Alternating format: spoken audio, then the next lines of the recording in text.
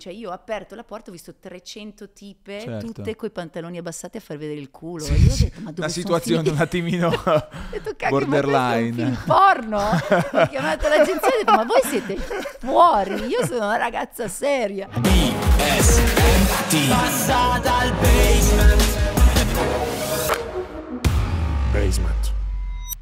Bella raga, nuovo appuntamento, nuovo passa dal basement, bentornati, questo vuol dire nuovo amico, anzi nuova amica quest'oggi perché già è inutile che faccio lo splendido, avrete visto probabilmente il titolo, avrete visto già il teaser in cui magari abbiamo annunciato l'amica che è passata a trovarci oggi, intanto ciao, io sono Gianluca Gazzoli, se ancora non l'avete fatto e vi va iscrivetevi a questo canale se ci state guardando su YouTube, se invece ci state ascoltando guardando sempre su Spotify, grandi, continuate a farlo anche lì, eh, iscrivetevi, attivate campanelle, cose varie, così siamo e siete sempre sul pezzo perché tutte queste cose belle accadono grazie anche e soprattutto a voi che ci state seguendo ed ascoltando con tanto affetto ed è per questo che sono ancora più contento oggi che dal basement è passata, attenzione, Michelle Hunziker! Mamma mia quanto sognavo di dire questa cosa, Ma mamma mia! Ciao Gianluca, ciao a tutti. Mish, grazie mille per essere qui oggi, davvero tanto. Non davvero vedevo tanto. l'ora di vedere il tuo bunker. Eh, sì, esatto, È eh. troppo bello con tutti i tuoi cimeli, con tutte Sì. le tue cose Prima che ho già mi hai fatto- presentato. Esatto, perché forse non tutti sanno che c'è proprio un, un rito di, di- di inizio che insomma io che provo a raccontare eh, più o meno quello che c'è davanti. La cosa bella è che in tanti casi questo racconto un po' dei pezzi, delle cose particolari che ci sono, anche dei ricordi qua al basement, poi va a scatenare anche delle cose nelle persone E che vengono, certo, negli io ospiti già di mi sono vergognata mondo. perché non sapevo no. che gli amici ti portassero delle cose. Adesso la prossima volta vengo apposta e ti porto un mio cimelio per te. Beh, allora, Adesso se porti facciamo- quello che hai detto prima fa ridere. A, a, a Michelle ha detto, allora, la prossima volta ti porto il vestito che ho messo a Sanremo. Sì, perché mi faceva ridere, sono solo, solo cose maschili qua, capito? È vero. Cioè, io- gaming, c'è È tutta quella roba lì, eh, Lego. C'è la Invece cuffia di Federica da- da- Pellegrini che però è unisex, Oh, la que- cuffia. quella esatto, Però è esatto. unisex. Invece, oh, un vestito di Ci Sanremo. sarebbe. No, scherzi a parte, sono anche particolarmente contento perché noi ci conosciamo da, da un po' di anni, però di fatto è la, la prima cosa che facciamo insieme, almeno Ma è anche... incredibile. Eh, ma perché le cose devono accadere sempre nei, nei momenti giusti, È vero, è vero. No, sono super contenta, e, so- anzi complimenti perché No, stai grazie. andando alla grande. No, guarda, mi fa super piacere e soprattutto detto da te vale triplo perché anche per questo di solito quando faccio l'intro all'inizio che dico tutta questa hai sentito tutta sta trafila, ragazzi iscrivetevi, eh, perché comunque è un mezzo di comunicazione nuovo, no? Eh. Sono media nuovi, YouTube ci sono delle- dei nuovi linguaggi, delle nuove Certo. regole, anche dei nuovi riti e so che dicendole con te davanti non mi sento in imbarazzo quando magari ci sono magari degli ospiti che arrivano eh, magari anche loro da, da- da mondi diversi, da mondi tradizionali come la TV diciamo tradizionale che in realtà tutte le volte restano invece tu sei sempre sul pezzo e questa è una cosa che io la- perché anche su tutta la parte chiamiamola nuova che ormai c'è da diversi anni il mondo dei social e tutto quel linguaggio lì tu ti sei sempre messa, messa in gioco e ancora oggi eh, ti inventi delle cose proprio per essere sul pezzo Ma per forza bisogna essere sempre, sempre, sempre eh, lì concentrati su nuovi obiettivi. Poi vabbè, io sono fortunata perché avendo avuto una figlia di 19 anni, Sì. lei ha solo 19 anni in meno di me, mi ha sempre tenuta comunque aggiornata anche su tutto il linguaggio nuovo e in più io ero attentissima proprio perché dovevo fare il vigile urbano Eh, e vedere che le certo. cose funzionassero durante l'adolescenza, ero la prima ad essermi iscritta su Facebook, la prima che aveva Ah, tutto cioè tu sotto controllo. lì giustamente per capire Eh, co- beh, per- per- che- Auri aveva 14 anni quando è arrivato Facebook e io avevo capito immediatamente che sarebbe stato comunque una finestra sul mondo, una finestra nuova e non è che ero contraria, ma ho detto io devo immediatamente capire il mezzo perché se no lei furba faceva gli account fantasma, Ah, sì, eh? mi fregava sempre, però a un certo punto la beccavo e lei diceva mamma ma perché mi becchi ancora prima che le pensi? Dico, bella. Tra l'altro, Auri, ne approfitto la saluto perché è stata veramente una delle prime, se non la prima, a credere nel basement. Vedi? Quando ancora lo stavamo costruendo, lei già era venuta qui, insomma, eh, Auri quindi ha avanti. portato anche fortuna, devo Eh, dire, su, su queste cose. Quindi... salutiamola che adesso fa la mamma a tempo Mamma pieno ed è mia. bravissima. E com'è tutta questa nuova situazione? No, ti dico, è una cosa meravigliosa. Io mi sento mamma bis perché, eh, anzi, mamma al cubo, Certo. perché quando lo tengo in braccio Cesare ha la faccia di Aurora in maschio. Sì. Quindi mi si sbloccano i ricordi di quando era piccolissima. Proprio un'emozione, guarda, non te la so neanche spiegare, poi l'ho visto Ah, nascere. credo. Ma loro bravissimi, sia Goffredo che Auri, proprio sul Io li ho visti subito come se si fosse attivato un pulsante genitori, hanno Così. switchato. Cioè, poi io, Auri, figurati, voi conoscete la sua storia, la mia storia, Certo. quella che abbiamo avuto insieme. Ho spesso anche raccontato che lei dai 16 ai 19 mi ha fatto morire. Quindi io, quando l'ho vista, che ha visto il suo bebè, ed è diventata mamma immediatamente, cioè l'emozione è stata, in- eh, lì capisci proprio che diventi madre, è vero anche nel momento in cui lo senti crescere dentro di te, ma quando vedi il tuo bambino, pam! Che roba. Eh, cioè, come dici bello. tu, eh, ti senti mamma, mamma bis, mamma al cubo, anche perché comunque eh, Aurora hai detto che avevi 19 anni, Sì. quindi eh, rivivi quel ti- a parte che vabbè, insomma, poi sei diventata mamma nuovamente in età diversa e Sì, quindi hai, hai sì, visto proprio tutte le, le differenze, che, che- come, il tuo stato d'animo, come cambia nelle varie... È eh, sempre una nuova sfida, un nuovo- una nuova emozione, perché appunto quando diventi mamma a 19 anni non hai l'esperienza di vita, per cui ti aggrappi alle regole e le regole ti aiutano tantissimo perché così cresci tuo figlio appunto un pochino magari più in modo severo, però eh, almeno hai un- una direzione. Quando poi eh, arrivi ad a fa- fare dei bambini a 30 anni e in più, anche io avevo 34 anni con Sole e poi 38 con Celeste, chiaramente hai l'esperienza di vita, sei più morbido, più flessibile, Sì. te la godi di più, cioè non ti allarmi se non fanno la cacca subito nel vasino. Ok, ok. Sì, diciamo che il secondo Cioè, dici, giro, il vabbè, terzo è che giro... avrà il pannolino fino ai 18 anni, invece al primo figlio Ti fai tutto- tutte, tutte le menate, ok. Sì, no, è bello. E poi appunto diventare nonna è stato qualcosa di, di emozionante. Me l'hanno sempre detto tutti, eh, guarda che quando ti arriverà il nipote o la nipote e non si riesce a spiegare bene, perché è come la vita che continua, la tua genetica che si sparge, Chiaro. e l- è qualcosa di straordinario. Boh, deve essere. Poi ripeto, cioè, adesso l'hai- l'hai, l'hai detta tu, la parola che nel tuo caso a me fa quasi impressione dire che tu sei nonna, no? Te l'avranno detto tutti fin dall'inizio, nel senso che eh, chiaramente tu, tu ti aspettavi di diventare nonna così giovane. Io volevo, anzi, diciamo che Auri mi ha fatto anche aspettare giustamente Beh, dai certo, il 26 momento anni, giusto. però se lei avesse fatto Alla un bebè età. alla mia età, Cavolo. cioè a 19, io a 39, tren- a 40 sarei stata nonna. Però guarda, mh, io non, ho affatto- non faccio fatica quando prendo il Cesare in braccio, io lo guardo, dico amore Eh della beh. nonna, lo dico proprio con Sì. convinzione. Eh, non, non ho, perché non è correlato nella mia testa all'avanzare degli anni, è correlato con, la- con- con appunto il progredire della tua genetica, il andare avanti e, e- e vedere come la vita si, si evolve ed è bellissimo. Beh, cavolo, quindi non, non- non ti ha fatto impressione questa No, cosa? Zero. Zero, zero. Poi anche perché forse anche perché appunto sono giovane, nel senso Certo. che eh, ho due bambine piccole da crescere, io sono ancora nel mindset materno totale, Sì, per sì, cui non sì, è sì. una cosa che ti può fare impressione. Ci sono un sacco di nonni giovanissimi in Italia che eh, di- a loro dico sempre, ragazzi, dovete essere super orgogliosi, cioè non, ave- non abbiate paura a dire la parola nonno, nonna, perché appunto bisogna togliersi questa cosa qua che è correlato con l'età. Quando invece diventi nonno a 60-70 fai più fatica perché ti senti E già ti, più ti là. accorgi che Eh. effettivamente qualcosa sta, sta cam- in quel caso lì qualcosa sta, sta Sì. cambiando. Beh, no, poi il nonno, diciamo, il nonno, almeno anche nel mio caso, sono le figure che poi ti restano nel cuore Eh, per sempre, no? in poi io il rapporto con i nonni è una Eh, roba. sì. Io so già che a Cesare farò fare tutto quello Esatto, che non stavo può fare dicendo, con i suoi fai- cioè, genitori. ci sono già dei vizi Ma glielo che- dico già, Ah, di quando è con me, gli dico amore della nonna, cioè, e io e te faremo un sacco di cose belle, sì. Tutto quello che non puoi fare con la mamma la fai con È me. così, di solito, di solito funziona così. e godi che- nel pensare sta cosa qua, godi di brutto, non Eh, so sì. perché. No, però come dici tu, il fatto di essere probabilmente consapevole che sei ancora giovane, super in forza e voglia di fare Sì, ma ancora un io lo porto a fare. Kyokushinkai, a, a combattere, lo porterò a calcio, ci gioco anch'io, a me piace giocare a calcio, non importa. Tra cui- l'altro lo, lo sport parte integrante credo della tua vita Mm. perché per mantenersi così, in- per mantenerti anche così in forma sempre, qu- quanta attività, cioè di adesso ti sei messa la giacca, no? Prima mentre siamo arrivati c'era un po' caldo, non avevi la giacca su, avevi dei bicipiti che, che facevano, cioè comunque il- lo, lo sport in questo momento che mh, quanto occupa nella tua, non so se quotidianità, ma penso di sì. Quotidianità, io mi alleno tre volte alla settimana, cascasse il mondo, lo integro in tutte le mie cose da fare perché per me è un investimento a lungo termine sulla salute, lo dico sempre perché è chiaro che io fino ai 30-33 anni mi sono sempre allenata outdoor perché sono comunque arrivo dalla Svizzera, ho due polpacci così Quello- che me li sono forgiati a genetica, fatica con sì. uphill, downhill, mountain bike. Comunque sono una che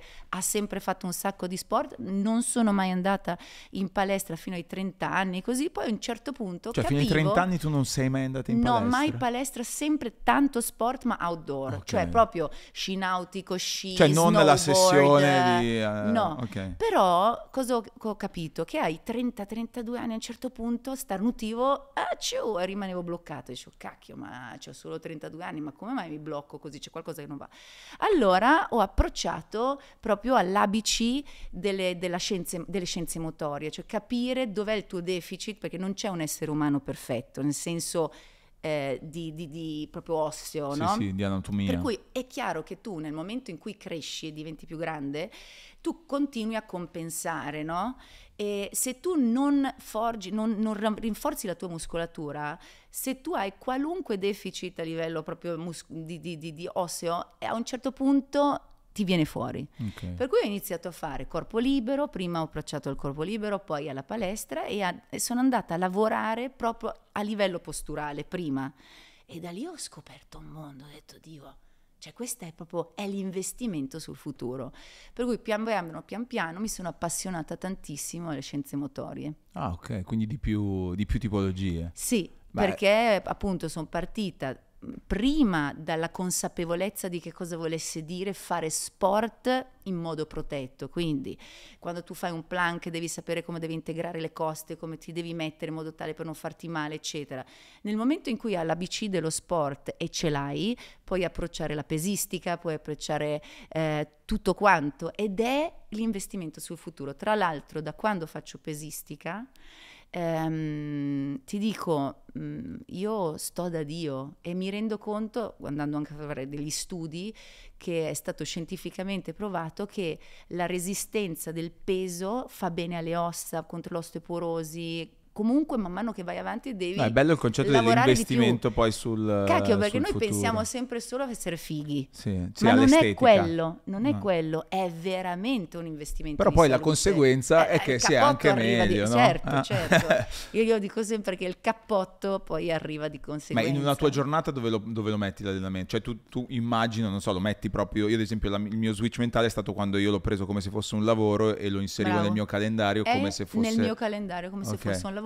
Io anche con la Graziella io ho una- mi sveglio alle 6 tutte le mattine rigorosamente durante la settimana perché per me è fondamentale svegliarmi, prepararmi, preparare le bambine, portarle a scuola, far colazione con loro, eccetera. Poi torno, mi alleno e io alle 10 devo essere pronta per affrontare la giornata e fare qualunque cosa dobbiamo fare, però Ok. non, non posso non allenarmi. E prima hai citato una disciplina che io non riesco neanche a ripetere il, il nome.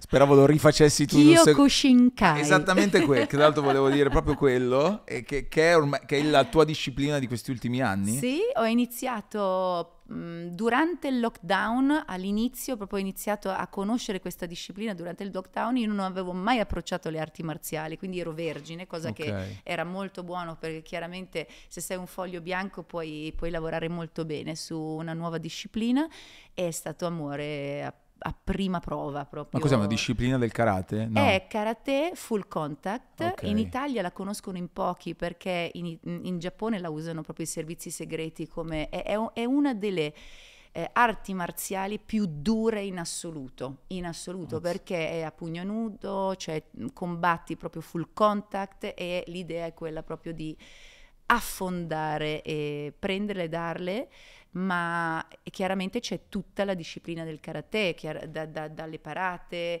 alla Cavolo. tecnica in movimento, tecnica ferma, kata e poi kumite che è il E combattimento ci sono finale. tutte le cinture anche qui.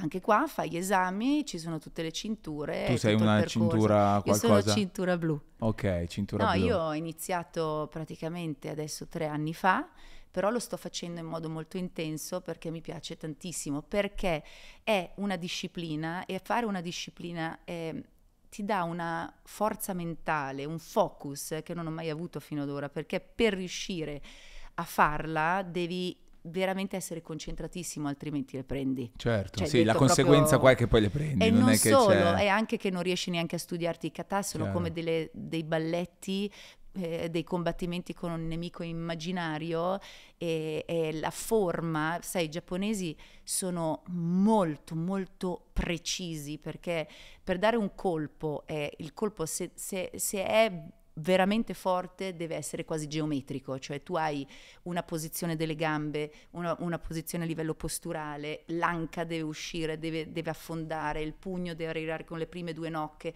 se vuoi colpire allo sterno deve essere la bocca dello stomaco, cioè deve essere preciso e Mm. lì è bello. Sì, ma lì co- come ci sei- cioè te l'ha consigliato qualcuno? Come ti è venuto? Sì, me l'aveva consigliato Eros durante il lockdown perché ha detto guarda che conosco questa, lui aveva iniziato a fare anche lui questa disciplina e ha detto "Ah, secondo me ti aiuta tantissimo perché tu sei un tipo che potrebbe veramente apprezzare questa disciplina, abbiamo iniziato. E via, e adesso sei nel tunnel. Io sono molto, molto nel tunnel, ma nel tunnel in modo sano. Sì, sì, no, chiaro, è bello, Eh, poi c'è una passione è una soprattutto passione, nuova, ti, sì. ti smuove. E come tutta questa tua, anche cu- questa tua passione per lo sport o in generale, come si, ri- si riflette sul tuo lavoro? Si riflette nella maniera, è una filosofia di vita perché, vabbè, io arrivo da un posto dove quando aprivo le finestre Eh, vedevo le certo. montagne. Per me il piacere era correlato con la fatica e la gioia nel fare fatica, perché quando noi, cresce- noi cresciamo in Svizzera con ogni giorno educazione fisica a scuola, rigorosamente ogni giorno, per cui già abbiamo un mindset di competition, eh, di, di- di obiettivi da raggiungere. Anche i valori no? dello I sport. valori dello sport. E poi per andare a sciare, avere tre minuti di piacere, comunque la fatica, capito? Cioè. Del dire ok, io devo arrivare in vetta, faccio fatica, ma poi quei tre minuti di divertimento sono assoluti. E questa è la mia filosofia di vita, cioè io so che per arrivare da punto A a punto B io per fare quello che mi piace farò tante cose che non mi piacciono, ma sono contentissima di farle perché lì voglio arrivare. Quindi Chiaro. non faccio fatica, capito? Sì, beh, il concetto è chiaro, poi bisogna farlo, bisogna farlo Eh no, davvero. e voi perché ci- cioè, adesso, sai, il problema oggi è che ti dicono tantissimi, in tantissimi dicono no, ma io non voglio fare questa cosa perché io devo fare quello che mi appassiona. E invece secondo me per arrivare a fare quello che davvero ti appassiona, devi fare anche tante cose che non ti piacciono, avere un po'... Io dico sempre alle mie figlie, dovete grattare, dovete, dovete mettervi in discussione, imparare le cose, perché è troppo facile dire, ah, non ti arrivano addosso le cose, come fai a fare da subito le cose che ti appassionano? Non è possibile, No. cioè ci deve arrivare, no? sì.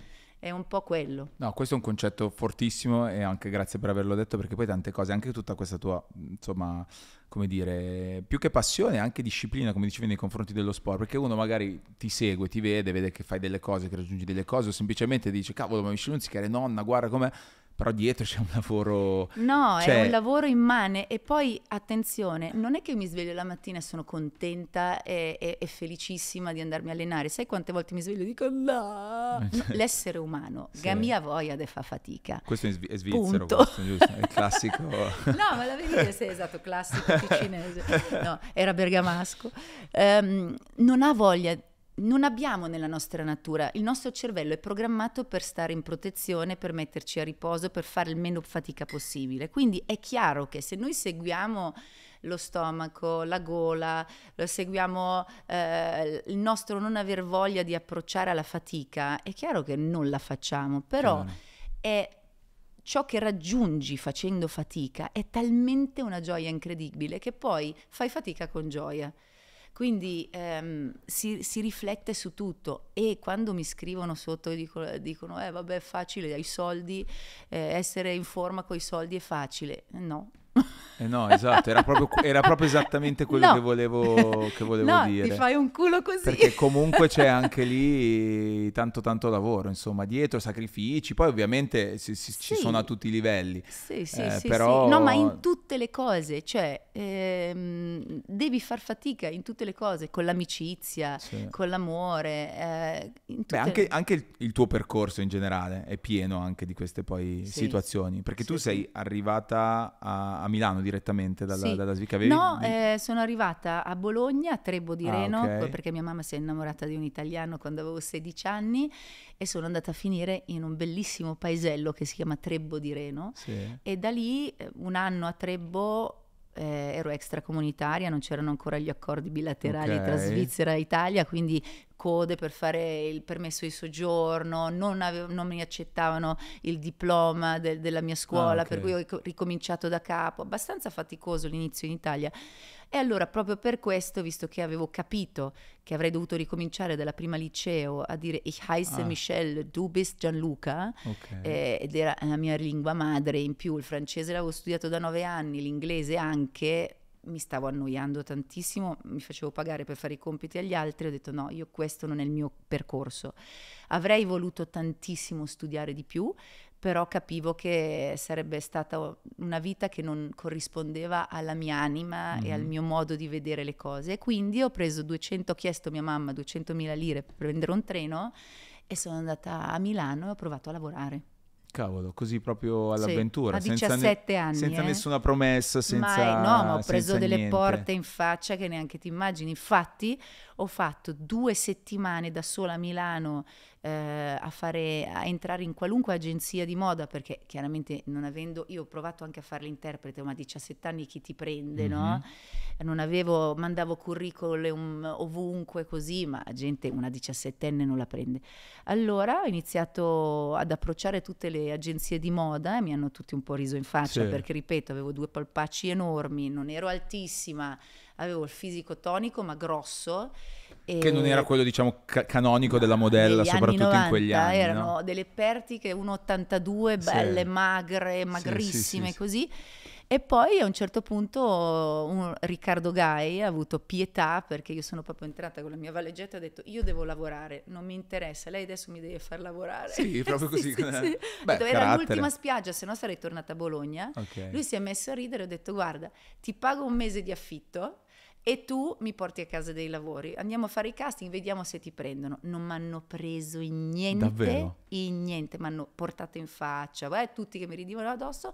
A un certo punto, l'ultimo giorno prima di prendere il treno per Bologna, arriva un casting stranissimo della Roberta, Ah, quindi del... del, del culo. Sì, no, te l'avrei voluto chiedere perché quando ero. cioè, Eh, io non ho mai capito se era culo. vero o no. No, Perché no. infatti ho detto, è una leggenda o è vera Mm. quella cosa? Perché. Io lì veramente la vita è stranissima perché io ero proprio scorata. Ho detto basta, io torno, non so cosa farò, andrò a lavorare, che ne so come al motor show, non so, non sapevo più cosa fare. Arrivo e lì è stato un flash perché ti giuro, quando io ho aperto la porta di quello studio dove si facevano i, ca- i- casting per la Roberta, per cui Sì. la, mu- la prima mutandina perizoma mai fatta in Italia, proprio a forma Beh, di enorme natica. Sì, sì, ma super iconica poi era diventata Sì. quella, quella foto. E tu immaginati com'era il casting, cioè io ho aperto la porta, ho visto 300 tipe, Certo. tutte coi pantaloni abbassati a far vedere il culo. Sì, io ho detto, ma dove Una situazione un finite? attimino detto, borderline. Un film porno? ho chiamato l'agenzia e ho detto, ma voi siete fuori? Io sono una ragazza seria. E loro, no, guarda che questa è una marca importante, se ti prendono. E io, sì, certo, mi prendono. E c'era tutta quella... E allora niente, hai presente come ti senti proprio a tirar giù i pantaloni a far vedere, cioè proprio a- quel gesto è stato in quel momento allucinante, no? Poi anche contro tutta la mia cultura, Chiaro. così un po'.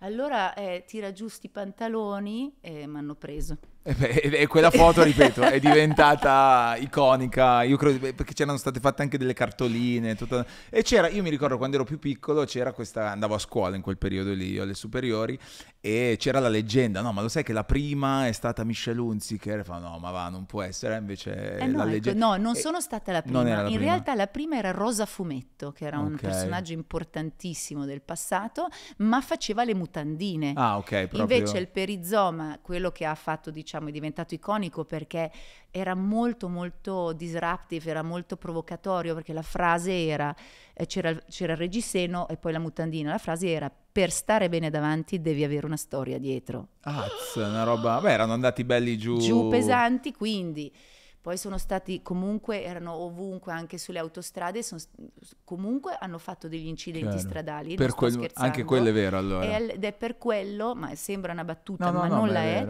ed è per quello che è stata introdotta proprio quell'anno per colpa mia, della, della Roberta, una legge che togliesse tutti i cartelloni pubblicitari dalle autostrade. Per evitare Eh distrazioni sì, del perché conducente. al di là adesso del- Certo. del- del- della Roberta, comunque le, Ce n'erano anche i altre. cartelloni Beh, pubblicitari. cavolo, una case history Cioè, io andavo comunque a letto la importante. sera dicevo, col senso di colpa.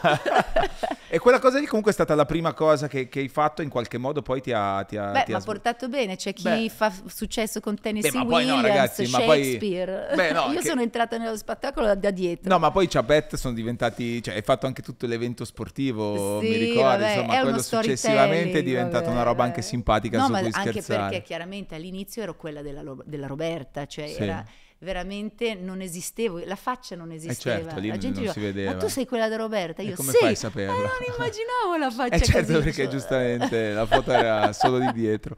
Però poi invece sono nate tutta una serie di altre, Sì, di da altre lì tante opportunità, ho lavorato tantissimo per eh, la Perla, tutti questi Ma tu sei sempre stata di- così spigliata come oggi? Ero molto, mo- allora, sì nel senso timidissima, però con grande voglia di intrattenere. Perché oggi di- sei, sei la figura in Italia che, che- che- che sa fare tutto e che fa tutto nel mondo dello spettacolo, in senso canti, balli. No, ci eh, provo. ci provi o comunque lo- ci provi molto bene, devo dire, nel senso che se- cioè, eh, sono quelle figure che oggi in realtà non- non ce ne sono più tantissime, no? E tu credevi che, cioè, credo che per ognuna di queste cose tu ti sia dovuta preparare Io ho studiato tanto. tantissimo e continuo a studiare tantissimo perché c'è gente che nasce col talento e poi però è pigra perché sa di avere talento e allora non gratta. Io dico sempre anche alle mie figlie, ragazze, io non avevo dei particolari talenti.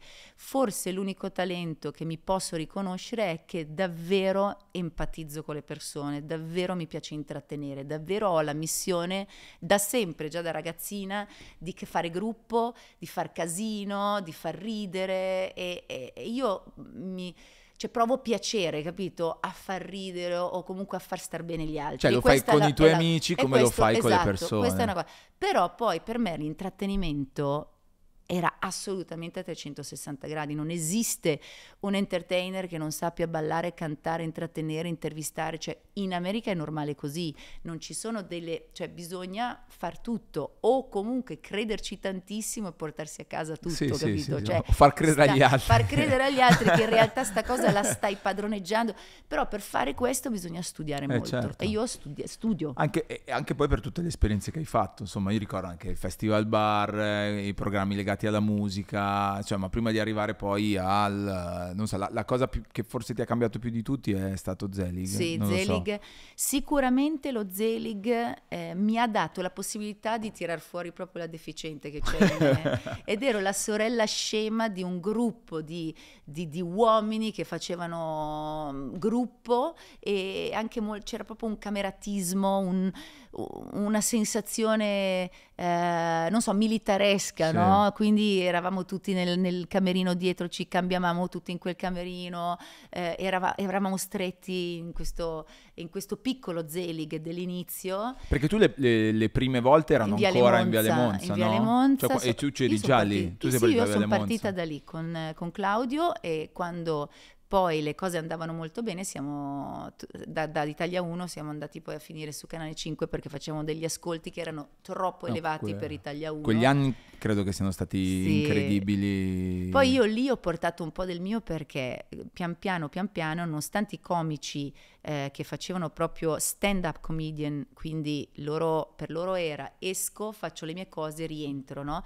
E io ho cercato di convincerli che dovevano fare dei balletti con me, con Claudio, sì. che avevano sempre delle chiuse comiche. All'inizio non ne volevano sapere, poi pian piano, pian piano si è creato sto gruppo e, e, facevano delle cose esilaranti. Sei stata fatto... accolta subito bene? Dal... Mamma mia, sì, è stato proprio, è stata la, la mia terapia del sorriso.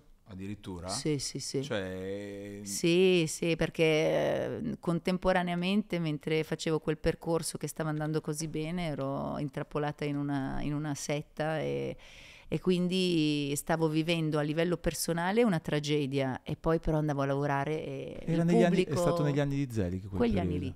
Quando più ho fatto ridere era il momento in cui la sera andavo a casa e piangevo.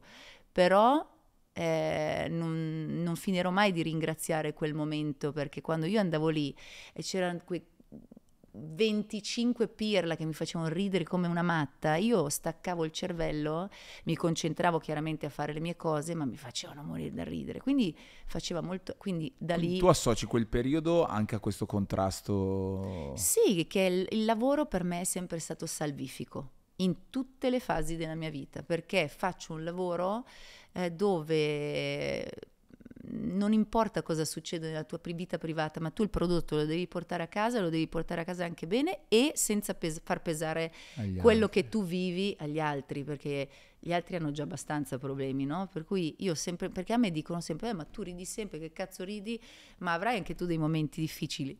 Certo che ce li ho, però me li vivo nella mia privacy. È chiaro che così ha tutta un'altra lettura, no? Anche quel, quel, periodo. Adesso hai citato il discorso della setta, personalmente a me aveva affascinato molto, in negativo, ma affascinato in generale, perché insomma tu poi l'hai raccontato pubblicamente anche sì. qualche anno fa, l'hai scritto nel libro e credo che insomma anche tirarlo fuori sia stato per te bellissimo. Da una parte un grande sfogo finalmente, sì. ma in, in, quel periodo lì al lavoro, cioè al lavoro a Zeligo, ad altre cose che facevi, lo, lo sapevano quello che tu stavi Loro vivendo? Sape- tutti sapevano che io vivevo qualcosa di strano e non, adesso oggi ti dico che è stata una setta, ma non guai dire questa parola perché noi eravamo un gruppo di persone secondo la nostra testa, eh, secondo la testa della, della, persona che guidava questo gruppo, che facevano un percorso spirituale che non faceva male a nessuno. Infatti non ha fatto male a nessuno perché ad esempio mia figlia Aurora non ne ha mai vissuto un pezzo di questo perché io avevo delle domande alle quali volevo delle, io volevo delle risposte perché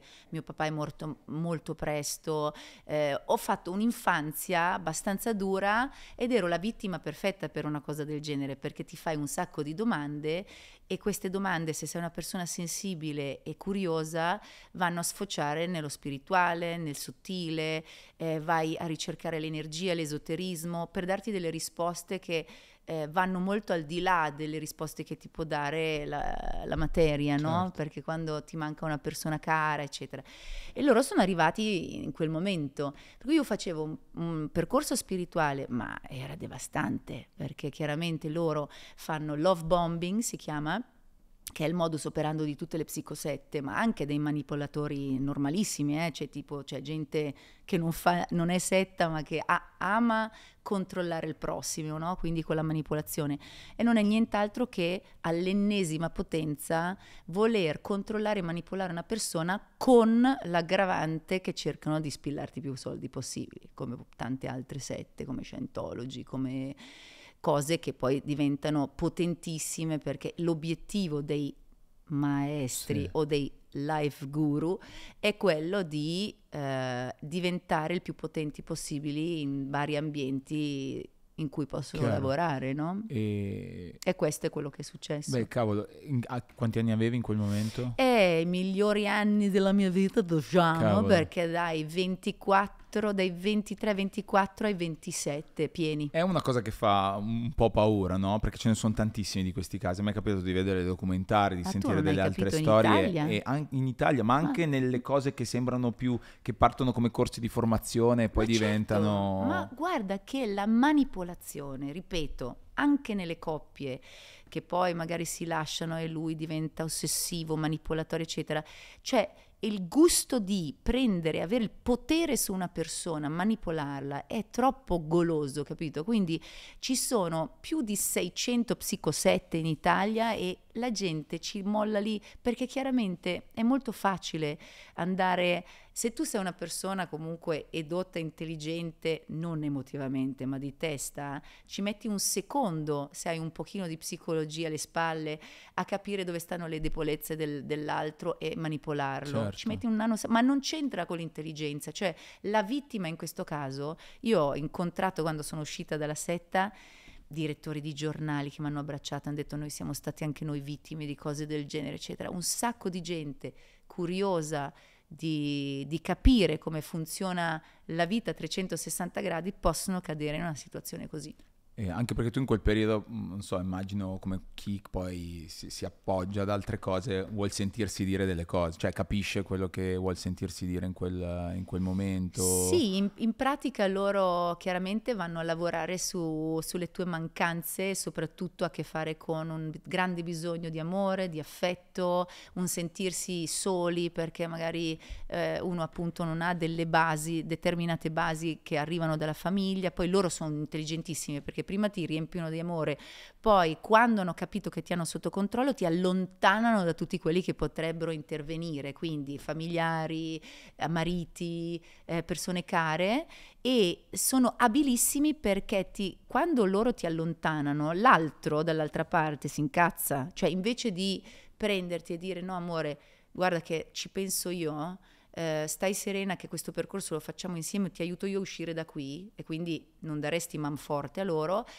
si spaventano, i familiari si spaventano perché ti, vengono, ti vedono che improvvisamente diventi una che non vuole più saperne, eccetera, e, e, ti dicono che sei pazza o ti dicono guarda fatti curare e, nasce il conflitto, ma non è una colpa, è proprio che giustamente uno non sa come gestire una cosa così. Ma lì è un, una persona che ti dice cosa devi fare?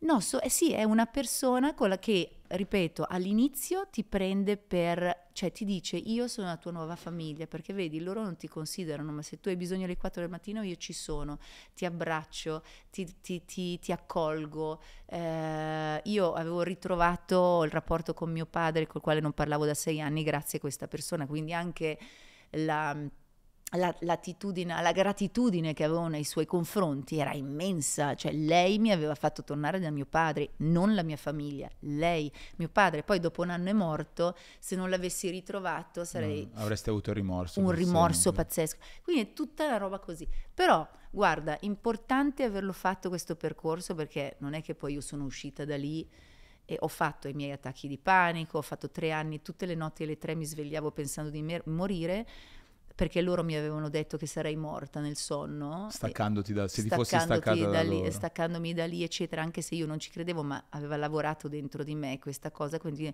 alle tre facevo... e poi avevo l'attacco di panico. In quel periodo lì ero io e Auri da sola, quindi mi sono fatta aiutare tutto, però vedi il pubblico non ha mai saputo no, niente. No, perché tu poi appunto dicevi in quel periodo anche c'era Zelig, c'era il periodo in più sorridente. Esatto, però po- guarda, il lavoro è stato ha... sempre la mia salvezza, perché io poi l'attacco di panico di notte, chiamavo il mio medico mm. carissimo, che lo saluto, Gabriele Pellicciotta, che ormai mi segue da quando ho 18 anni, lui alle 4 del mattino, vero medico, di, di, che devoto, devoto al, al, suo mestiere, poverino, alle 4 mi, mi, io, Gabri, ma sto morendo, lui no, mettiti giù, sdraiati, bevi un po' di acqua, respira, vedrai che va tutto bene, sudorini freddi, Cavolo. così. Beh, fu il dottore poi incredibilmente razionale in quella cosa lì sì, e sì, sì, ti, ti, poteva un po' aiutare. E ovviamente questa cosa poi ha generato tutta una serie di situazioni, dicevi tu, anche nella tua famiglia, nelle situazioni. Una di queste, eh, anche detto poi eh, da te successivamente, anche la relazione con Eros ha, ha avuto eh insomma una... Noi ci siamo lasciati per colpa periodo. di questa cosa qua e poi quando sono uscita dalla setta, eh, le, il primo messaggio che ho ricevuto proprio è uscita l'ansia, perché io poi me la sono cavata da sola e quindi mi sento molto molto forte ad essere uscita da una dipendenza, perché è una dipendenza quella, mm. eh, come l'alcolismo, come la tossicodipendenza, da sola. E quando sono uscita, ehm, in quel periodo avevo alle spalle un ufficio stampa molto importante, Bibi Ballandi che mi aiutava, eccetera, perché mi ero tutelata è uscita la notizia, Michel Hunziker lascia la Tuenda, che era l'agenzia che avevamo creato apposta, diciamo, di questa eh, di questa setta. E dopo tre minuti all'uscita del, del eh, mi arriva un messaggino di Eros che dice guarda che se hai bisogno io ci sono. E mia madre anche guarda che non vedo l'ora di ritrovarti. E, e poi a, a ruota nell'arco di tre ore, tutti Pier Silvio Berlusconi, tutti che erano felici che ero riuscita a uscire. E perché hanno vissuto e non si capacitavano, no, come... probabilmente non si capacitavano no. di come tu fossi stata in qualche modo no, lì no, dentro. No, impossibile, era anche impossibile per loro intervenire. Ma, come... Infatti adesso non so se, sono contento che, che, ne stiamo parlando proprio perché c'è tanta altra gente, come dicevamo, che magari è dentro una situazione del genere tu ti senti, cioè, che consiglio daresti ovviamente a chi è dentro, ma anche a chi deve interagire? Cioè, chi si rende conto che c'è una persona che in questo momento è plagiata da qualcun guarda, altro? Guarda, io mi emoziono ogni volta che una persona si avvicina a me e mi dice guarda, io ti giuro, mia figlia era in questa situazione, gli ho messo lì il libro sul letto di notte, l'ha letto e ne è uscita. Per me aver salvato anche, non so, 25 persone da, da una violenza del genere mi, mi riempie il cuore di gioia. Comunque proprio recentemente in un aeroporto si è avvicinata una mamma disperata con gli occhi così quando mi ha visto mi ha detto mia figlia è intrappolata in una setta io ho sottolineato tutti i passaggi che hai scritto e spero tantissimo che lei la legga. E, e, io guarda dico a tutti che sono là fuori che sono magari che si sentono soli che hanno bisogno di affetto eccetera ricordatevi sempre che non esiste nessuno eh, che ti chiede, cioè se, se ti chiedono i soldi, non è affetto, non è amore, non è aiuto, a meno che vi appoggiate a uno psicologo, uno psichiatra, un professionista, un medico, un prete, un amico, però non credete a queste cavolate di eh, guru, mm. capito? State attenti, state questa attenti la... a non essere manipolati e non dare dei soldi a questa gente. È la red flag più grande quella. È importantissimo e io mm. lo continuo a dire perché ehm, chi ti vuole veramente bene mm. non ti chiede il denaro. No, certo. Se non è un professionista, chiaro, chiaro, ok? Che chiaro. non ti vuole bene, il professionista fa il suo eh, lavoro, eh, sì, che sì, è diverso. Sì, Quindi love bombing, ok, sei mio fratello, sei mio amico, non mi chiedi soldi per fare quello che fai. Se è un mio paziente ah, è un'altra quindi cosa. Quindi diffidate. Ah, questo è importante. No, e quindi, no. scusami, la domanda poi è anche un po' spontanea, ma secondo te se non ci fosse stato questo discorso tu con Ero sareste ancora insieme? Ah, questo non si sa. Non si sa cosa sarebbe Questo non ci è dato a sapere. no, perché quella è una comunque, sliding doors incredibile. È una sliding doors incredibile. Io comunque dico che eh, alla fine il destino è il destino e la vita va come deve andare ed è giusto che vada così perché oggi io sono eh, quello che sono grazie a tutto il mio passato, così come tu sei quello no, no, che certo, sei grazie al tuo passato. Fa, ogni cosa fa un pezzo. Eh, però io non vivo nel passato, mai. Cioè io vivo nel qui e ora, eh, non vivo neanche il futuro, cioè ho dei progetti, ma per me non è nel futuro o nel passato, cioè per me è, in questo momento ci sei tu, che per me sei importante perché stiamo facendo questa bellissima Grazie. chiacchiera, non esiste nient'altro, non ne frega niente di quello che sta succedendo intorno perché io vivo il presente. Qui e ora. Il qui e ora. E anche se, lo so, è una frase fatta, ma se riesci davvero a vivere la tua giornata e trarne il, il massimo nel qui e ora, guarda che è una figata. Chiaro. E io ci sono arrivata un po' tardi, però grazie al percorso. Sì, se no non, non ci saresti magari no. neanche Adesso arrivata. ti giuro che sono proprio in un momento in cui faccio solo quello che mi sento. Beh, che è grande, un grande traguardo, no? Personale. Ma anche, ma anche andare a cena con persone che magari ti dicono no, beh, è giusto che tu vada a cena con questa persona perché magari fa network o... Se io Adesso non sento che sì. quella persona per me è un plus nella mia vita e non ne ho voglia perché magari ho altre cose, io non mi faccio più dei problemi perché il tempo che noi abbiamo, sì. quello sì che vale. Chiaro. Quindi se te lo regalo, io te lo regalo perché spero di essere un plus per te, ma tu devi essere anche tu un valore aggiunto. No, o no? Sì, sì, no, no, lo penso anch'io, però riuscire un, un, domani ad avere anche questa bella libertà, no? Tante È volte siamo schiavi di noi stessi, di questi nostri uh. pensieri che potremmo sì. eventualmente fare mille altre cose. Però beh, è, è impressionante no, pensare durante il tuo percorso quante cose poi hai dovuto anche superare. Non avevo mai pensato al fatto che tutto questo della setta avvenisse nel periodo di Zelig, quindi che sì, ci fosse sì. anche un contrasto emotivo così, così forte, però il, quello di Zelig poi è stato un percorso che diciamo ti ha dato uno, uno slancio incredibile, soprattutto nei confronti della, della gente, no? Cioè lì è nei proprio confronti dove... delle donne, soprattutto ah. cosa che per me è sempre stato un grande obiettivo, il fatto di far squadra con le donne, il fatto di non, non, non rappresentare una rivale nelle case italiane, perché eh, ero convinta che eh, la vera emancipazione, la vera femminilità si potesse espletare serenamente anche con un tacco 12 e con un bel décolleté o vestita anche sexy, eccetera, ma senza dar fastidio alle altre mm-hmm. donne perché è come ti poni che cambia, perché se tu fai squadra e fai capire alle donne che eh, sei integra e pulita um, e che sei loro amica, empatizzi, allora, allora, allora le donne si rilassano, no? E per me era un obiettivo primario. Anche perché poi tu eh, sei sempre stata molto autoironica, quindi eri la prima anche a prenderti Forza. in giro, no? Lì poi con Claudio Ma Bisio, figurati, cioè, era lì, uno sfottò dietro l'altro, cioè, no? se hai un, un, tanto così, se sei permaloso muori. Non puoi, non puoi no, farcela. No, io sono una che incassa con, uh, con grande... Però questo grande... ti ha avvicinato tantissimo al, al pubblico, come dicevi certo, tu, anche certo. quello poi femminile. Sì, perché sai, eh, loro dicono, io corrispondevo ai cliché dell'epoca, ero biondina, avevo fatto fatto la Roberta, capito, la gnocchettina. Certo. Però il fatto che capivano che mi vergognavo tantissimo a fare la vamp, cioè io non ero una che tendenzialmente magari mi facevo un servizio fotografico su Vanity Fair con dei, be, dei, dei fotografi della Madonna mi dicevano dai guardami sì, sexy sì, e io ridevo come una cretina, cioè era difficilissimo, sì. cioè perché mi sentivo scema a fare, capito, la boccuccia poi però man mano impari anche quello, impari anche a non vergognarti della tua femminilità, della sensualità, perché fa parte dell'emancipazione, perché non è che emanciparsi, che ha a che fare solo con i diritti, vuol dire togliere della femminilità mm. da te stessa.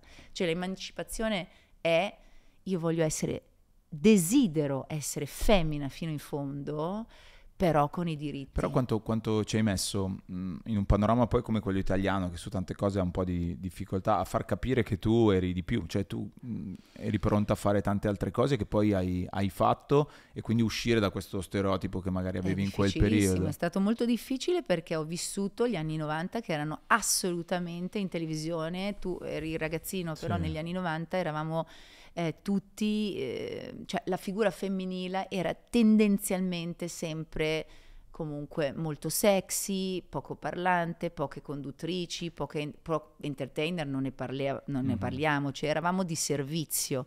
Però la cosa, secondo me, che per me è stata importante è non andare a cercare di cambiare un sistema, perché non puoi essere così saccente di pensare che tu in un nanosecondo arrivi, adesso è arrivata, non si vuole spogliare, non vuole fare tutto quello che normalmente la veniva pubblica richiesto. veniva richiesto e, e, cambia il sistema, no? Perché ti mandano a pedate in culo fuori, fuori mm-hmm. dall'azienda. Invece io ho cercato sempre la chiusa comica e l'autoironia, quindi mi veniva chiesto di mettere una minigonna inguinale, mi vergognavo tantissimo e di fare uno sketch dove mi spogliavano e rimanevo in costume. Allora io dentro di me soffrivo perché dicevo cacchio ma sempre lì dobbiamo andare a parare, però poi avevo anche il mio management che era fortissimo, Graziella con Franchino eccetera e loro mi, mi, spronavano a dire ma prenditi per il culo, tu fatti spogliare e poi alla fine ti fai una risata, una battuta e la porti a casa con, con ironia. E da lì è nato un format cioè, ecco. non prendiamoci troppo sul serio, che tanto stiamo facendo intrattenimento, e alla fine, eh, piano piano, piano piano, ho potuto trovare la mia strada. Ecco perché poi sono entrata a Zelig e avevo carta bianca con Gino e Michele che mi dicevano fai quello che vuoi. questo è anche cambiato oggi, no? Insomma, Beh, adesso, te, sarebbero sì. alcune cose impensabili e impossibili non tanto dico nei tuoi confronti, ma anche in generale, no? No, ma adesso c'è eh, un eh. grande rispetto e firmo il mio programma che si chiama Michelle Impossible. Il tuo Dopo nome 20... Michelle Impossible è un, è un naming ma sai bellissimo. Chi me l'ha suggerito? Chi? Fiorello. Davvero? Sì, sì, sì. Dice no, tu devi fare un programma che si chiama Michelle Impossible. Cioè, è, è un naming incredibile. Sì, sì. Bene. E quel programma è stato veramente il sogno incoronato di un percorso bellissimo, faticosissimo, perché tu mi puoi immaginare che Cavolo. comunque alla fine per portare a casa sempre il risultato, anche oltre ogni aspettativa, oltre ogni pregiudizio e soprattutto perché in tanti non hanno creduto in me, ma è ancora meglio perché se non credono in te e porti a casa il risultato è sempre un effetto wow, se invece hanno aspettative è più, è più difficile, no? Mm. Eh, e quindi adesso firmare un programma dopo 25 anni che è proprio mio, dove posso fare le cose che mi piacciono, è la cosa più bella al mondo. L'avresti detto all'inizio No, quando... ma va, ma io neanche pensavo di poter mai fare televisione. Io arrivo dalla Svizzera, cioè noi non abbiamo, non avevamo e non abbiamo neanche adesso come cultura il glamour, la moda, eh, le- l'intrattenimento Che poi non a- fa a- parte anche in della Svizzera nostra... sei diventato un personaggio televisivo anche Io lavoro lì, in no? Germania, Ah, Germania. in Germania tantissimo e di conseguenza anche la Svizzera Ok. tedesca perché loro guardano la TV, i cinesi guardano la TV italiana, guardano i- Ok. Italia 1, Canale 5, anche Rai 1, insomma. E eh, i tedeschi, i svizzeri tedeschi guardano la TV tedesca, per cui alla fine sono molto contenti. Eh, riesci a fare a unire che differenza Sì. c'è tra il pubblico tedesco e il pubblico italiano quando tu ti Beh, approcci? è culturale, Sì. solo culturale, perché chiaramente la, glo- la globalizzazione anche in televisione, Certo, nella TV unito. generalista, ha fatto sì che un sacco di format che vedete qua ci sono ovunque. Ehm, la cosa che chiaramente cambia sono i periodi storici, la cultura, la politica, la politica economica dei, Beh, va- dei però- vari paesi e chiaramente la Germania come politica economica era molto diversa da come stavamo noi per dire noi eh, sette anni fa siamo entrati in una crisi atavica dove chiaramente anche gli editori facevano fatica a investire in cose nuove perché bisogna portare a casa la sicurezza, la Chiaro. certezza anche per la pubblicità, eccetera. Eh, e in Germania non c'era ancora, per cui ancora grandi investimenti, si spendevano soldi per fare intrattenimento.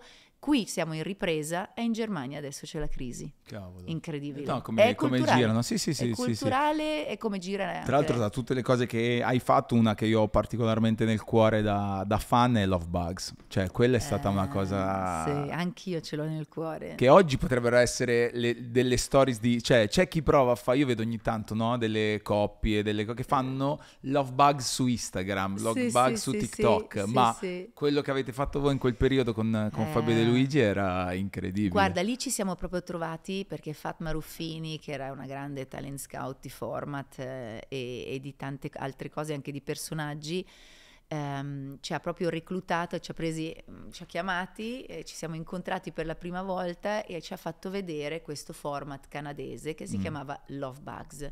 E noi però l'abbiamo proprio fatto a misura su di noi, lui era Fabio, ero Michelle, e lì era molto nuovo il fatto di avere una camera fissa, così come adesso c'è il telefono, ma lì non, Non esisteva certo. neanche, non c'erano i social, non c'era niente, per cui fare uno sketch di due minuti e mezzo, tre minuti in presa diretta con la telecamera fissa e con le mani che entravano, ti ricordi, sì, no? sì, C'è come no. gente da fuori, così, era una grande sfida, ma io ti giuro, noi dovevamo- io mi ricordo, dovevamo portare a casa 12 o 14 minuti di girato al giorno, la fatica perché ridevamo così tanto e poi la frustrazione di non portare a casa il materiale perché se non ridevamo noi era il regista che rideva, il produttore. Poi allora alla fine Chuck si gira tutti fuori perché ah, se no sì, se no non riuscivate a non farlo. ce la facevano a non ridere. Però si sentiva, posso dire. Cioè, Ah. c'era una... Michel, Michel. da Michelle era diventato ancora adesso quando io lo chiamo io lo chiamo Baghino Eh, Fabio certo, cioè, certo. è, è rimasto Baghino io quando lo chiamo lui risponde Subito. Che bello però quando è così. Comunque tu hai lavorato con un sacco di personaggi incredibili. Chi è stato un maestro anche per te? Per me sono stati tutti? tutti maestri io ho sempre detto di aver avuto la fortuna di volermi contornare di gente che la sapeva più lunga di me. E ancora oggi lo faccio anche nel mio eh, diciamo nuovo progetto che ormai non è neanche più tanto nuovo di imprenditoriale. Io adesso frequento chi ne sa di più di me in modo tale da imparare sempre qualcosa da qualcuno. Ho avuto partner della Madonna da Pippo Baudo, che era all'epoca un gu- ancora adesso un guru della televisione, un grande raccontatore che ha creduto in me, eh, Antonio Ricci che mi ha dato tantissimo e tuttora mi, mi, dà tantissimo perché ha creduto in me piuttosto che Gino e Michele, partner come Claudio Bisio che aveva già fatto un miliardo di anni di teatro, quando sono arrivata io lui faceva, aveva, fatto, aveva lavorato al piccolo, sì, sì, sì. Eh, cioè era un grande, capito? Piuttosto che Jerry che l'ho Cacchio, incontrato per tutti, la prima cioè, volta, comunque, eh. che avevo 17 anni a Modamare Portofino, lui se la ricorda benissimo, cioè tutti i miei partner sono stati comunque importanti per me. E sono stati anche un po' miscelizzati loro dalla tua presenza. Poi dopo si, si miscelizzano. Sono stati un po' miscelizzati. Mi è venuto adesso questo termine, non so. No, perché sai che cos'è? La cosa che funziona di più in una coppia, e io ho sempre molto sostenuto la coppia in, di intrattenimento, perché chiaramente sei più forte. Se tu non hai l'ansia di dover primeggiare, non hai l'ansia di fare la prima donna, e ci sono prime donne uomini, prime donne... Chiaro. Donne. donne eh, se capisci che illuminando il tuo partner, innalzandolo, vinci ancora di più e vince lui e ne guadagni tu ed è questo il segreto, no? Quindi i partner col quali lavoro, Jerry è uno così, noi due non facciamo altro che cercare di, di alzarci a vicenda e c'è una tale stima, vabbè noi siamo fratelli, però proprio stima lavorativa e questo arriva Ah, e quindi è molto è più forte, capito? Poi puoi fare i progetti, tra virgolette, quando uno dice quando farai un one woman show. Ok, Michelle Impossible è un one woman show? No, perché da sola non fai un cazzo, scusa. Sì, sì, no, no, il concetto è giusto. Perché non vinci mai se non hai una squadra, è solo con la squadra che puoi vincere e la gente pensa che... Eh, che chi poi mette la faccetta finale sia mm. poi quello che vince. Non, non, può vincere perché tu prendi un conduttore della Madonna, lo metti in un contesto sbagliato, in un programma che non funziona, con degli autori sbagliati, non fa non ascolti. Funziona. No, cioè, anche se è bravissimo. Guarda, ne, approfitto tra l'altro che c'è qui anche Grazie oggi. Tu sai che io, mm. io voglio fare una puntata con Grazie, eh, sto cercando forza, di convincerla dovrai, che è la nostra manager. Eh, qualcosa ne ha da raccontare Io credo ragazza. tantissime, soprattutto poi il punto di vista del, del, del manager o comunque di, eh, di chi sì. ha vissuto anche tanti cambiamenti che ci sono stati intorno a noi. È che se lei dovesse svuotare il sacco dobbiamo proprio sbaraccare tutti. Cioè tutti devono sbaraccare. No, perché Immagini sono... uno che impazzisce e dice basta. Non, noi non abbiamo problemi chiaramente, però c'è gente che secondo me potrebbe morire se tu dici le cose come stanno. Più che altro sono tutte storie di grande ispirazione. A me ha impressionato poi quando ho iniziato a lavorare anch'io con voi, con Grazie eccetera, nel vedere il, il gruppo lavorativo, no? che è veramente una, una grande famiglia quanto è stato importante in, in un, mondo in cui tutti negli anni appena c'è qualcosa che non va cambiano manager cercano di dare anche io penso tante volte, poi ci sono situazioni e situazioni, però delle scusanti di alcuni fallimenti deficit o di alcuni deficit personali propri. ad altri, no? E quindi ci sono realtà dove magari realmente c'è qualcuno che non sta credendo in te, oppure in realtà ci sono delle... cambiano di continuità. Tu hai sempre avuto eh, per tutti questi anni la stessa famiglia. Adesso io uso sì, questo termine sì. perché veramente l'ho, l'ho, toccato con per mano. Per me è proprio veramente dentro. come per te, cioè questa è una famiglia e la famiglia si tutela, si protegge e dobbiamo anche dire che siamo fortunatissimi perché di Franchino e Graziella che ne è due. Sì. Adesso ce n'è una che è la Grazi, ma non è che non è plageria, è proprio um, il, esistono dei valori, no? È come quando uno parla di un brand. Adesso io ho il mio brand che ha dei valori. Questi valori ti, sono un fil rouge, sono, sono fondamentali per la riuscita e il successo di un prodotto finale. Loro sono partiti che avevano i loro valori, i valori che i loro artisti dovevano essere puliti, eh, gestibili, eh, umili, che seguissero anche la visione, una visione comune. È chiaro che quando hai 20 anni è la visione del tuo manager, poi cresci e diventa una visione comune, ma è sempre appoggiata dagli stessi valori. E coloro che sono con noi in agenzia sono persone, se una mia collega, se tu domani mattina stai male, io sto male, se Hilary ha un problema, a me viene male, cioè noi siamo una family Per cui è una fortuna inenarrabile perché oltre alla grande professionalità, la competenza che ha Graziella nel gestire i suoi artisti, noi abbiamo creato un gruppo fortissimo, coeso, è una rete che è impossibile da, da spaccare. E tu che ne, ne hai viste tante in questi anni e stai vedendo anche le nuove generazioni, credi che questa cosa manchi oggi? Ma io non voglio dire questo perché io penso che ci siano tante persone oneste, brave, con, eh, con voglia di fare, che possono nascere, che ci sono, eccetera. Sicuramente c'è un calo valoriale, una grande crisi valo- valoriale in generale. Tu lo vedi quello che sta succedendo quando, per esempio, questa povera ragazza di Palermo è stata stuprata dai sette ragazzini che non si sono pentiti neanche per un secondo e neanche i parenti. Cioè, la cosa più grave è proprio che c'è crisi, ok? Quindi come c'è crisi in questo senso, dove uno dice com'è possibile che sette ragazzi, neanche uno di loro si penta di una cosa così violenta come quella, che a me viene da piangere solo a pensarci, la stessa cosa succede anche nel lavoro, cioè è come se non ci fossero delle basi solide, no? Per cui ehm, chi gestisce gli artisti, forse mi permetto di dire, tante realtà non guardano tanto la persona, l'anima, quello che questa persona davvero può dare nella sua e, ed è difficile investire, è una fatica investire su un personaggio, cioè loro hanno investito tempo di vita eh, quotidiana per creare un percorso a una persona, ok? E le nuove agenzie comunque sono molto, io lo vedo che si, si tutelano con dei contratti che sono quasi ridicoli a mio parere, perché sono contratti che fanno capire che non c'è la volontà anche di un gentleman agreement dove io dico io credo in te.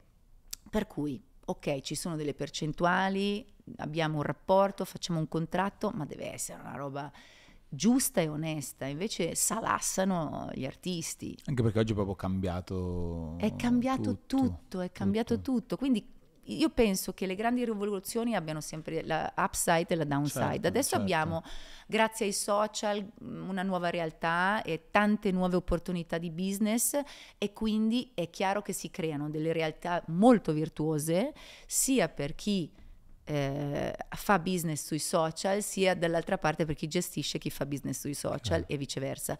Però è chiaro che ci sono eh, anche n- nelle grandi rivoluzioni poi degli errori di Sì, percorso. sì. Io che ho- faccio questo mestiere ormai da 27 anni mi accorgo che c'è un po' una crisi valoriale, però potrebbe poi cambiare, perché Qualcosa una volta che si aggiustano le cose Sì, sì. e si capisce che il social può essere comunque abbinato alla televisione, tutto si unisce, intrattenimento è intrattenimento. Ok. eh, e quindi io posso gestire un personaggio a 360 gradi ehm, con, E anche fare un con anche percorso un po' insieme. di fiducia. Sì, sì, ma poi proprio il concetto del percorso, perché anche tutte le cose che hai raccontato tu oggi fanno parte di un percorso che tante volte non, Sì, eh, tu, non cioè, tu dà. devi essere una persona prima di Certo. tutto. È chiaro che delle agenzie che hanno 300 artisti o cioè, ogni artista comunque ha una persona di riferimento che, che Che cioè dietro. devi seguirli, Sì, gli artisti vanno testa. seguiti. Chiaro, chiaro. Perché l'artista è artista proprio perché ha bisogno di essere Certo. seguito sotto altri punti di vista.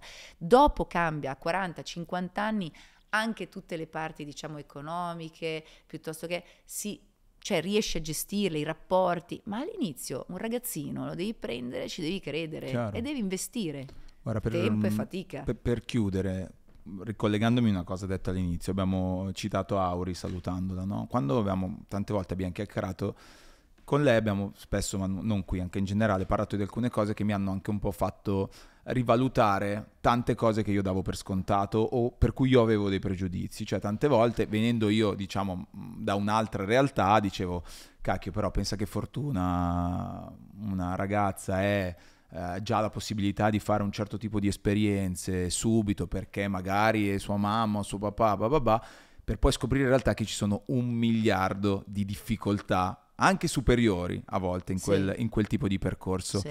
Insomma, ho sempre sentito il suo di, di punto di vista e di racconto su questa cosa. Dall'altra parte, com'è un genitore che sa che eh, sua figlia ha, tra virgolette, il peso, che poi è una cosa bella in realtà, di un percorso fatto dai genitori come può essere stato il tuo e quello di Eros. È una grande sfida quella di Auri e lei la vincerà perché ha una grande intelligenza, prima di tutto emotiva, è una ragazza sensibilissima è una ragazza di cuore e, ehm, e, ha delle skills che io non avevo, cioè ha una genetica oggettivamente, quella va sul palco, non gli frega niente, canta divinamente, non neanche, quasi non deve studiare e, e poi ha anche studiato. Però su questa cosa del canto mi ha detto una cosa che mi aveva lasciato molto impressionato, cioè io vorrei cantare, però non lo faccio perché per... ho paura che appena lo faccio mi rompono eh, le scatole sì, perché... È lì che dovrà, deve vincere la sua sfida perché eh, noi siamo nati, eh, lei è nata e cresciuta in un paese che eh, è normale, cioè per gli altri è normale avere un figlio che fa lo stesso mestiere del padre, non so, gli, quanti avvocati hanno i figli che poi fanno l'avvocato e quanti medici hanno i figli che vengono ispirati dal proprio papà o dalla propria mamma e poi vogliono fare il medico, cioè quello ok, e invece non si sa per quale motivo chi fa spettacolo è un raccomandato. Chi fa eh, musica è un raccomandato, chi fa cinema è un raccomandato se figlio d'arte. Invece se fosse nata e cresciuta in America sarebbe una, eh, un valore in più perché comunque tutti gli attori hollywoodiani che vedete oggi sono assolutamente figli di grandissimi attori, nessuno dice niente e tutti applaudono e dicono ok, noi riconosciamo una, un valore genetico. Quindi c'è DNA genetica e vissuto, cioè Auri ha vissuto dietro i palchi del, del, del, teatro mio che facevo tutti insieme appassionatamente, viveva dietro le quinte, vive, respirava la polvere del teatro, respirava eh, i, i, tour del papà, sì. ehm, è cresciuto con la musica perennemente in casa. Come fai a pensare che questa cosa non abbia...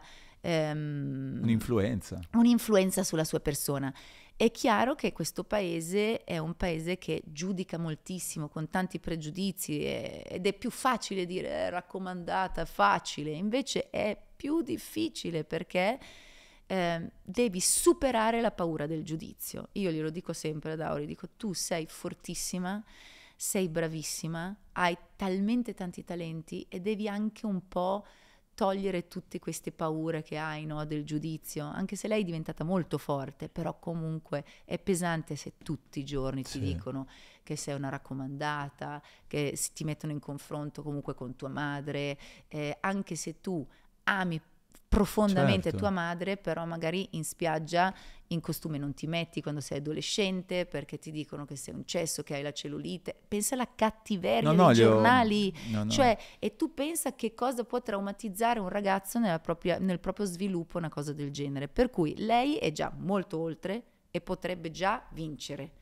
però è un percorso che deve Chiaro. fare lei e lo farà. Ah, sicuramente. Ma tu a proposito su questa cosa qui, su altri, tu leggi i commenti? Cioè sui social? Io sono una fai? che non leggo tanto, io leggo i commenti, salto tranquillamente le, le, cattiverie. Le, le, cattiverie. non le cancello, le lascio lì perché mm-hmm. poi si scannano con i miei fan. Sì, sì, sì, creano engagement. si, crea, si, crea, engagement e, e, proprio si scannano tra sì, di loro. Cioè, ti mi difendono, io amo, visto, le, persone che mi amano mi amano profondamente e ne ho pochissimi di hater, sì, devo dire la verità, eh, sono molto fortunata, però li lascio, li salto più, proprio perché lì sotto questo aspetto io la pellaccia, perché se tu pensi che nel 2002, quando una mattina mi sono svegliata e eh, sulla stampa in prima pagina c'era scritto Michelle Hunziker posseduta dal diavolo, detto da padre Amort che era un fortissimo certo. e rinomatissimo esorcista del Vaticano, io lì e mi sono svegliata e ho detto, ma sarà vero allora? Perché se lo dice lui forse io sono posseduta dal diavolo, capito? Cioè capisci? E da lì e ehm, io ho pensato, io non lavorerò più.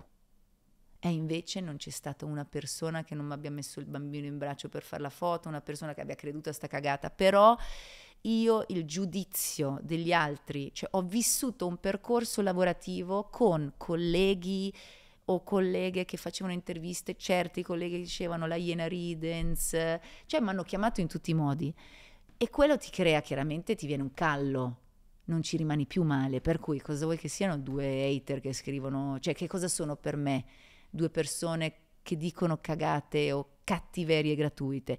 Se invece una persona che stimo, se tu domani mattina mi chiami e mi dici una cosa, io la Cioè valuto. tu dici chiaramente il peso è in base a chi dice poi quella cosa lì. Se Eh, no, non- porcaccia no, la no, perché non tutto vale cioè, tutto, che è la vera grande cosa. deve cominciare a dare Sì. il giusto peso a questi hater. Cioè Chiaro. è un mestiere partono gli shitstorm che poi dopo fa figo fare i like e gli hashtag per avere qualche like in più perché a quel punto io mi scaglio contro questa Sì. persona senza neanche sapere che cosa è successo. Sì.